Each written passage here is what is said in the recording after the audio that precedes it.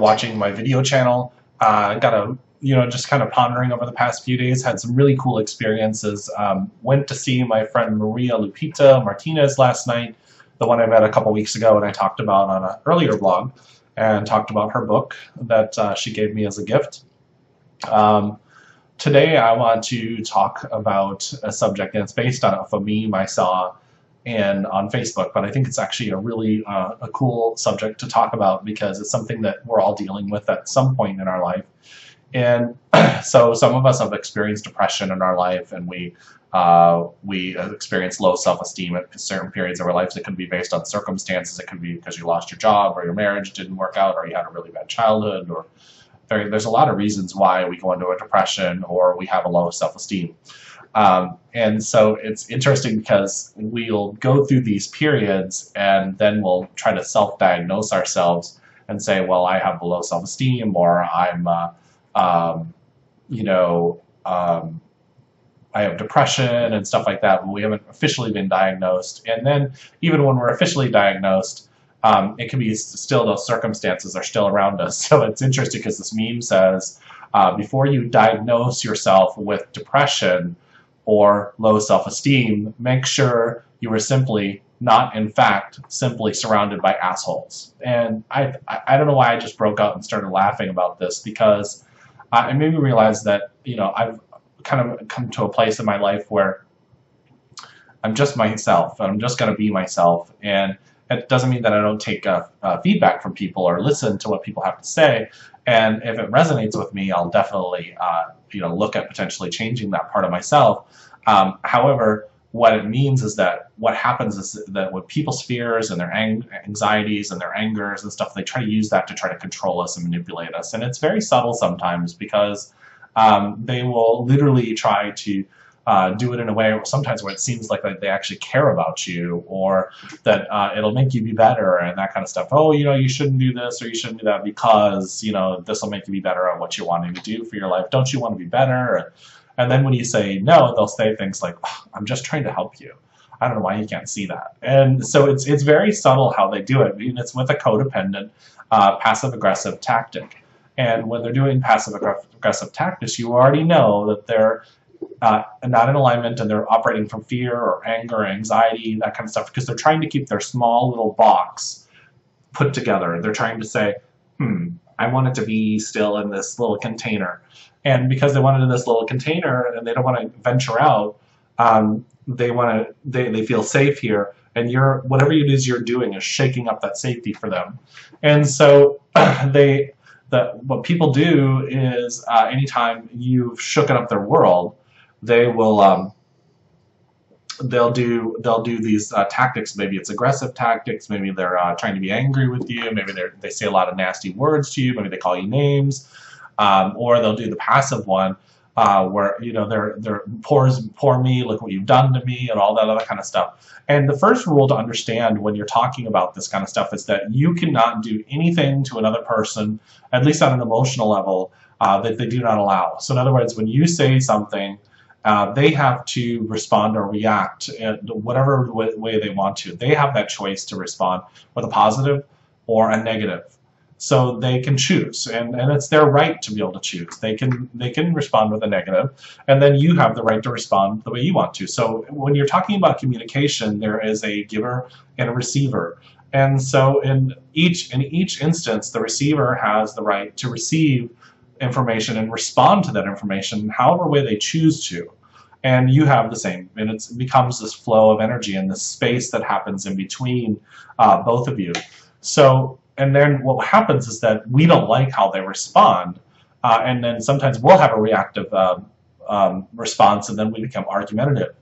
Now, how to stop that is uh, to um, agree with where they're at. You know, and there, there's a, what's what is called a negative assertion, and I learned this from a book um, called Crucial Conversations. And so when you uh, stop just for a second and you think about it, because your initial reaction might be, I want to tear this person up and tell them off or whatnot. They deserve it. How dare they accuse me of whatever it is that they're accusing me of? And you know, I mean, I've been called everything from arrogant to a jerk to an asshole and everything else. Um, and yeah, I've been guilty of being an asshole before, uh, based on this uh, meme that I'm talking about. Uh, however, there's times when I'm, I'm looking at them like, no, that wasn't what my intention was at all. And you're just upset about how you received it. And because of how you received it, you're going to villainize me because that's the story that you're playing in your head. Um, and so that how the story is playing in their head is making them respond the way they're responding. So, but they have a choice. They are they can be proactive or reactive. So they can make that choice. There's a space in between. It may be very subtle and very quick, but they have that choice. So, anyways, the point is is that negative assertion. Negative assertion is you agree with any facts, uh, you agree to any perceived facts, uh, and you agree to any potential facts. So, in other words, if somebody looks at you and say you're an asshole, you're a jerk, you can say, you know, I, am so sorry that you feel that way, or I totally understand. Uh, you know, at times I can be a real jerk and an asshole. And, and so what you're doing is you're agreeing, you're not maybe agreeing with that necessary, that circumstances, but you're agreeing and you're agreeing with that potential. Um, you know, because at times you can be a jerk. Every one of us can have that, that part of ourselves where we, that shadow or that wetiko or that darkness or that whatever part of yourself that wants to jump out, that little beast in you that wants to jump out and argue with people. And so um, there's nothing wrong with saying, you're right, at times I can be an asshole. Uh, and thank you for uh, um, um, making that, um, you know, bringing that to light. I'll, I'll really ponder and think about that. Now, in the end, when you ponder and think about it, it's your choice on how you're going to take that information. You can say, you can agree with them, and start to make what subtle changes, or you can not agree with them and you can uh, uh, move on and you can say, hey, you, you, can even go back to them and say, hey, I thank you for that feedback. Um, I don't necessarily agree with it, and this is the reasons why. This is what my intention was, and that kind of stuff.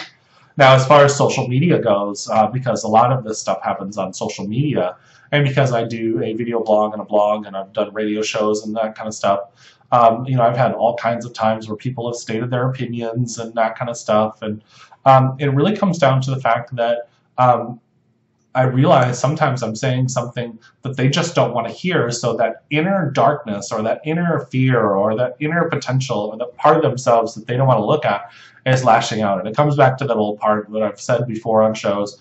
Um, once you got one finger pointing out in judgment, you got three pointing back at you. And it's interesting because we can all be in judgment. So a lot of times the judger will judge the judged or the are the judge the people that are judging. So um, I've been just as guilty of this. I've judged people that were judging other people. So and they shouldn't do that. They're supposed to be spiritual and they're, they're in judgment. Hey, as long as you're in this flesh, you you have the potential of being in judgment. As a matter of fact, you're doing it all the time because you're making assessments of people without having complete facts. Um, interesting, I had a situation come up recently where somebody had told uh, another person that they had ascended in this lifetime. And I'm sorry, my personal belief is you don't ascend. If you were sitting here in this flesh, um, unless you're manifesting yourself into the flesh uh, with a conscious thought, you know, from spirit or soul, then uh, to me, you are not ascended. Um, but this person is displaying um, a lot of um, things in life that it's, it's got, gotten to their head, so to speak. And yeah, maybe they have a lot of, they, they were very spiritual and they're a very great light and a very big light. And hey, great people go into their ego and they go into limitations. So um, it's not, when, including myself at times. And so, um, and that is a part of the path, that is a part of the walk. Um, because when you go into the ego, edging God out, uh, or however you want to refer to it as, then you um, learning a lot of great lessons about humility and being humble and empowerment, by the way because then you learn what true empowerment is. Because when you are cut off and you're in the ego, you're not seeing. You've been veiled. You start to see things. Oh, I'm this and I'm that and all that kind of stuff. And um, the truth is, is that uh, the only thing that most of us know, if we really want to look at this, is Socrates. We could say, so look at it this way. The only thing I know is that I know nothing. And yeah, I'm connected to this great consciousness and this powerful thing, and I am this great divine being, but this flesh is veiled. And so because it's veiled, uh, we don't see things clearly at times. And so because we don't see things clearly at times, sometimes we respond in the less than uh, ideal way of uh, responding. So, but the, the choice here is to, when you have that immediate reaction inside of yourself, to stop and think about it and and respond with a way of compassion and even looking for what you can agree uh, in somebody's statement. You can say, "Hey, I totally see your point there, and uh, and thanks for bringing that up to me, and thanks for the comment, especially with social media. Even the interaction, you can say, "Thanks for bringing that to my attention. I really do appreciate it."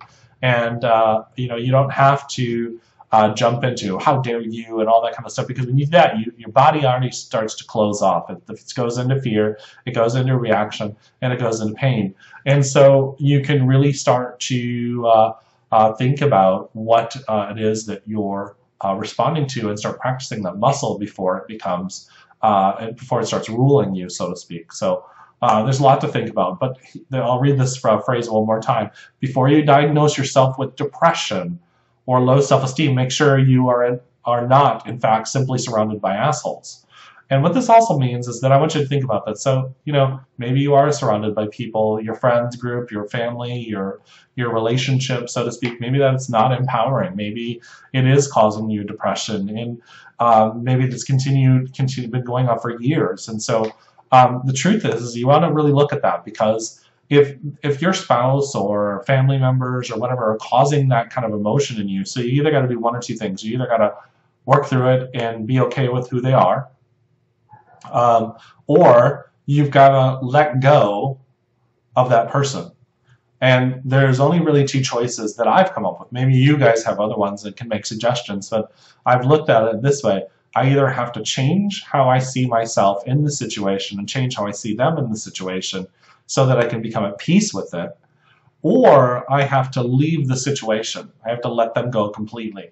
Or I have to let go of their triggers. So you know, I have to look at whatever it is that triggers me that makes them that makes me depressed or have a low self-esteem. I have to let go of all their opinions. I can't let their opinions overrule me, so to speak, because um, uh, the, any, anything that stamps out my inner voice uh, that says I need to do this or that, and they're coming along and saying, I don't know why you do that or they have some kind of opinion that downs it, um, I'm the one that has to make the choice to respond to that, as I was stating uh, before earlier. And one of that is, is my response to how my self-esteem is going to be. So uh, I want to keep myself empowered. I want to make that choice to be empowered to continue to follow my inner voice and follow that soulful path in order to find, you know, that uh, congruent in alignment way of thinking with the body, mind, and soul so that I'm in a synergy as opposed to being not congruent with uh, how my uh, body, mind, and soul is working. So what happens is uh, they call them chicken or uh, hen parties, and they're like nee, nee, nee, nee, nee, nee, nee, always talking. And because they're always talking, um, and then they talk to you, it, it, that, that, type, that, that type of banter can lower your self-esteem. Uh, however, you are making the choice to allow it because you can always walk away and you can always say no that's not i'm not accepting your opinion of me. And you can move on. So please make that choice. Make yourself empowered. You don't have to um, use other people's opinions to lower yourself. Now if an opinion that they give resonates with you look at it ponder it and uh, and uh, use it because that could be wisdom that could really help you in life. Um, however if it's if it's lowering your self-esteem and making you feel bad about yourself, you still want to look at it because it may be the way you're looking at it or perceiving it. So you want to really pay attention uh, to both sides. And uh, hey, um, post some comments. Maybe we can help each other. Uh, you know, work through this. Maybe you can really help us out uh, and other people. Maybe your comments, because people read YouTube comments, maybe those will really help people out and uh, um, they could reach out to you or they can see that and they say, well, I never really thought about it that way. And, and uh, we can be a community of people helping each other. So uh, there's a lot of things that I just want everybody to just follow their soul. And, and when they can follow their souls, then they can really find uh, happiness in their life. So anyways, peace and uh, namaste. Love you all. And uh, you have an amazing, amazing uh, rest of August and the rest of 2016. And I'm sure I'll be posting a video soon. All right. Bye-bye.